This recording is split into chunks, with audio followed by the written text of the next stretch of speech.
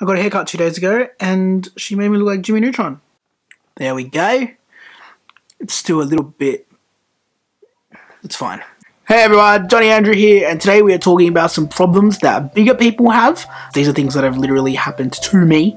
So yeah, just, uh, you know, deal with it. I don't mean like, oh, I can't walk up the stairs because I'm so heavy and I get tired. It's more about things that people say to you and stuff. Right now, firstly, pants. And you've got a nice pair of pants, which is fairly new, and then out of nowhere, it gets this massive hole in the thighs because your legs have been rubbing together.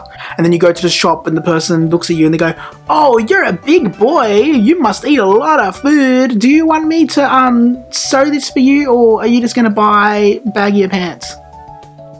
Sew the pants. I can wear skinny pants. You can't wear skinny pants. When someone tells me that I should get something healthy, my first instinct is, I'm going to KFC. And you know what? Then the day comes where you're like, today I feel like a salad, or today I feel like a sandwich, and you go get it, you bring it back, and everyone's like, are you on a diet? That's really good. I hope you stick to this.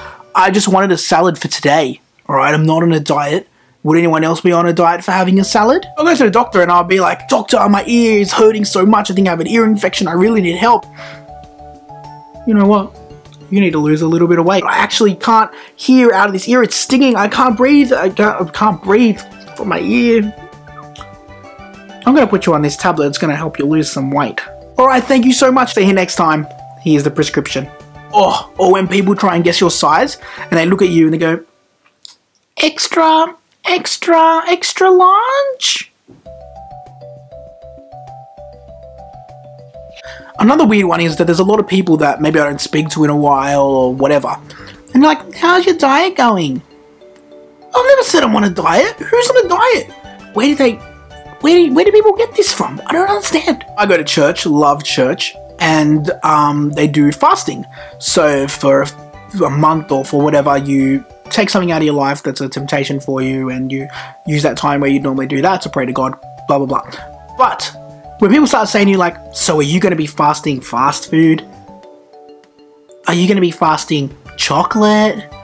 Are you going to be fasting soft drink? I'm going to be fasting being a good person. I already started. I've started today. These are rude. You're. Rude. Why am I talking like that? People always think the fat one is the one that farted. You ever hear like, and then everyone just do fat people fart more? I don't know. I don't bloody fart ever. If you want to win, keep it within. Another thing is old people. Old people, they don't they don't really have boundaries of things they can and can't say. So if they come into your office, they go, "Have you seen John, the the large one? You know, the the large guy, the really big one, the big fat ugly dog." Hi. What do you want today? Oh, I just want a discount. I think I deserve a discount. Well, you can shove your discount up your big grandpa up.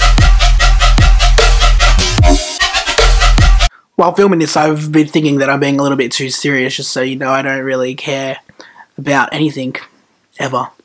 So,